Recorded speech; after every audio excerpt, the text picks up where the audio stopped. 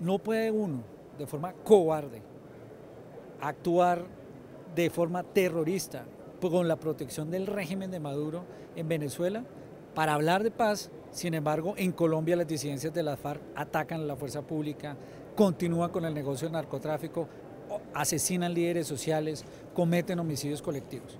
En Colombia nuestra fuerza pública la única tarea que tiene es neutralizar o capturar a individuos y criminales como Iván Márquez. Nuestra tarea es todos los días combatir esos símbolos del mal que tanto buscan afectar la estabilidad de Colombia.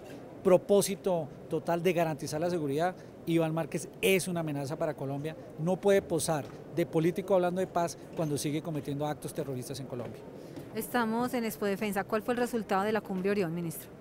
Hoy, en, la evaluación que se hizo de la campaña naval Orión, eh, quedó claro que este esfuerzo multinacional de más de 40 países y 100 instituciones que busca combatir el delito transnacional del narcotráfico logra victorias fundamentales, más de 500 toneladas incautadas en esta fase, eso significa evitar que millones de dosis de droga, millones de dólares lleguen a los grupos narcotraficantes y por lo tanto lo que estamos viendo acá es un esfuerzo importante para lograr interdicción, para destruir laboratorios, para capturar a estos delincuentes y además hacer interceptaciones de todos esos semisumergibles que buscan salir de nuestras costas para llegar a Estados Unidos, a Europa. Los logros y los importantes resultados de la campaña eh, Orión significa que un esfuerzo multinacional, coordinado interagencial, permite que nuestras naciones se unan con un solo propósito combatir el narcotráfico y permitir de esta forma fortalecer la democracia y la seguridad de nuestros países.